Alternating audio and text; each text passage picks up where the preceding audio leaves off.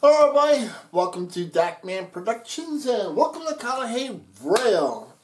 And today we got something new to add to the Conrail collection. And I'm pretty happy about this one. So, we won't call this an unboxing, but we're going to unbox it anyway. so got another great delivery from Mr. Muffins. And I know people are wondering, when I pre-order Conrail uh, rolling stock or locomotives, do I go back and make sure that it's real prototypical? Nah, I buy it just because they put the Conrail name on it and it interests me. Do I buy everything that has the Conrail name on it? No, absolutely not. Uh, one example would be the Lionel ballast tamper and the Conrail road name. Nope, I did not buy that because I knew I would use it one time and that would be the end of it. uh, if I'm not planning on using it more than once and put it back in my collection, then probably won't get it. Um, but at any rate, so what did I get today? And the one thing I've been looking forward to, as you can see, we got some big boxes.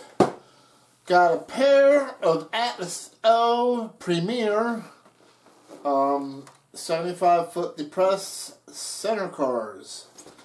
So, do you have depressed center flat cars? If so, cheer them up by adding some other cars with them. I know, bad joke. Got some, so, at any rate, um, got two different road names of the Conrail uh, center depressed flat car. And uh, anybody who uh, remembers that anything that says Atlas O Premier is the old MTH molds. And I am very happy that Atlas O has bought these molds to show everybody that they're willing to continue and sell O-gauge stuff. Because there for a while people were wondering, is Atlas O going to continue or is what's going to happen here? They seem to be concentrating only on HO and N. Nope, they're alive and well. And they actually invested, reinvested by buying MTH molds. So that is cool. Um, but anyway, we're going to get these out on the track, take a look at one, and we'll see if these are real or not. Did Conrail really have the center depressed flat car, the 75 foot one? Don't know. But we're going to research this and find out. Let's go.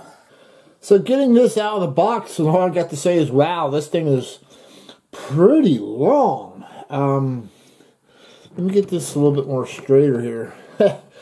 oh man, this thing is humongous. Let's measure this thing out. I am so curious, and I'm sure you are too, how long this thing is. Alright, let's get this uh, tape measure here. And we are at well, it's not cooperating with me here.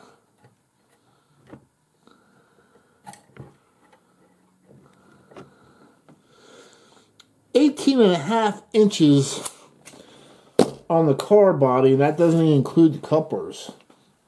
And as you can see, you have two sets of trucks on each end of the car. So this was meant for real serious heavy loads, uh, such as this transformer. And the reason why it was depressed was to get uh, extra height loads underneath the bridges and other obstacles that may have been in the way for stuff that was too tall. So that depressed center brought the height down uh, some, which is nice. The car itself is just the MTH carryover. I don't see really any improvements. It's the same thing that MTH when MTH uh, was making it, basically.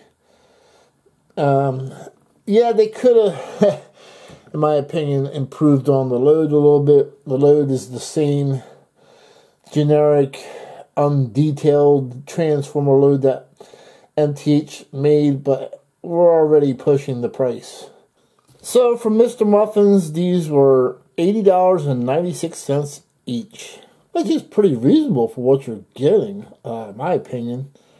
Uh, they sure won't last long. Now, with the trucks, I'm going to have the same complaint. Uh, non-rotating wheel bearing caps. I, I believe that's something that Atlas could have added carrying over to MTH product, but maybe in the future that's something I'll do. Also, the generic load uh, has pins on it, as you can see. You gotta line up with these holes in the in the floor of the car body to um, get it to sit flat. Not to worry, it does come with cables to tie it down with and a nice little package. You just gotta install the cables onto your flat car.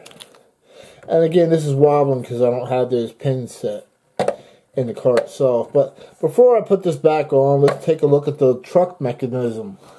It has kind of an interesting truck setup. It uh, it pivots a single bar, and each truck uh, turns independently and pivots as well. Kind of unique uh, how how it does this. Diecast trucks, uh, diecast knuckle couplers, metal wheels. I mean, you get the whole nine yards with uh, Atlas O Premier. Here you can see the, uh, the the bed I was telling you about where you got to line the holes up with the pins in that transformer load. What's nice about this car is that the load isn't permanently fixed, so you can put anything on here that you want to represent a heavy, oversized load. So let's take a close look up at the uh, car itself. Again, you have the uh, dual four-wheel trucks. Very cool. The Conrail lettering. Conrail insignia. And if you look over here at the end of the car, and we'll take a nice close look here. Now remember what I taught you. All Conrail equipment, oops, has model designations on them. So the model designation for this particular car at MTH we're actually Atlas O now used, is FE63B. That's the model designation for this car. So the closest I could come up with is for a Conrail FE63A class. And the road number of that was 766011. So it's not far off in road numbers compared to the ones that I got. So here's a picture of it. Conrail number 766011 is seen at Moline, Ohio on February 21st, 1988. The car is an X Erie Lackawanna number 7251, X Erie number 7251, built in October of 1951 and was painted on uh, November of 1979. So is this the biggest depressed center flat car that Conrail has ever owned? Absolutely not. That would be Conrail number 766163 as seen in this picture. Formerly Penn Central number 766163. Formerly Pennsylvania Railroad number 470245. This depressed center flat car was built by the Pennsylvania Railroad in Altoona in 1952. The car was repainted and renumbered to number 766163 after the re- creation of Penn Central. now, I know I have not run cars that I have reviewed in the past, but let me change that up a little bit.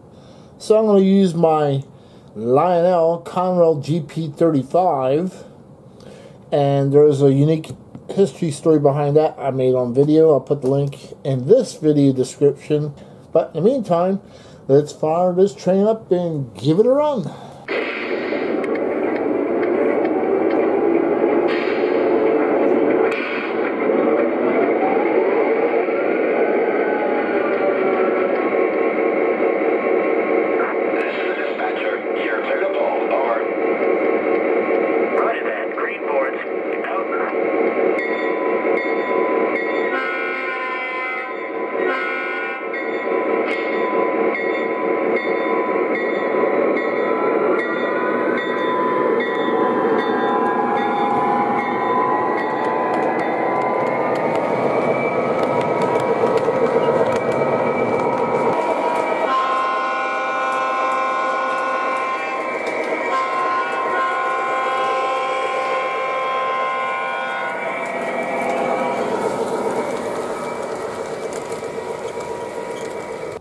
So I wanted to stop the train run and show you guys. This is a MTH uh, dual track portal or tunnel portal, and you see it just barely squeezes in there. But let's continue the train run.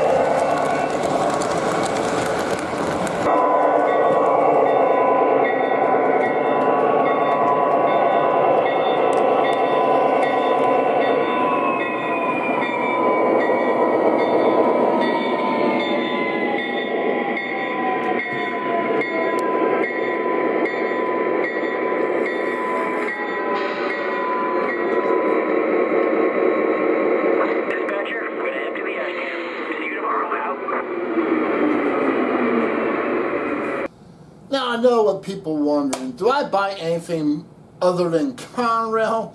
You know, funds are limited in this hobby. And so i rather stay focused on my favorite rotary than buying a little bit of this, a little bit of that, a little bit of this, a little bit of that, and then I got a mishmash of different things. But everybody's got their own thing that they want to do for their collection. For me, pretty much sticking with Conrail. Um, I have bought Penn Central rolling stock. I do have uh, Cargill uh, in my rolling stock has road name because uh, I have a Cargill grain facility, so I do have uh, Cargill grain hoppers, tank cars, and stuff like that. And I've bought um, even rolling stock that I've seen uh, featured in museums, such as the B&O Trailer Service, the Norfolk and Western Bicentennial Hopper uh, that you see in my cold drag. Although they don't have one, but they do have a picture of one in, at the uh, Virginia Transportation Museum. But uh, yeah, so I uh, pretty much concentrate on other than that on Conrail stuff unless it's like a, a local thing or something I'm already uh, collecting or something that might interest me at the time. Uh, and I haven't, you know, you can only afford so much on pre-orders and, you know, it gets to be too expensive if, if you just keep saying I want this, this, this, and this, and this. You gotta be, for me, I gotta, I gotta have some kind of discretion. And uh, so, yeah, I'd rather just stick with Conrail and, and Cargill and a couple other things. And if there's nothing being made and there are pre-orders and I see something I like and I have the funds, then I'll go ahead and buy it. But at any rate, I hope you enjoyed this video, this episode, this run, and we'll catch you guys trackside. Goodbye.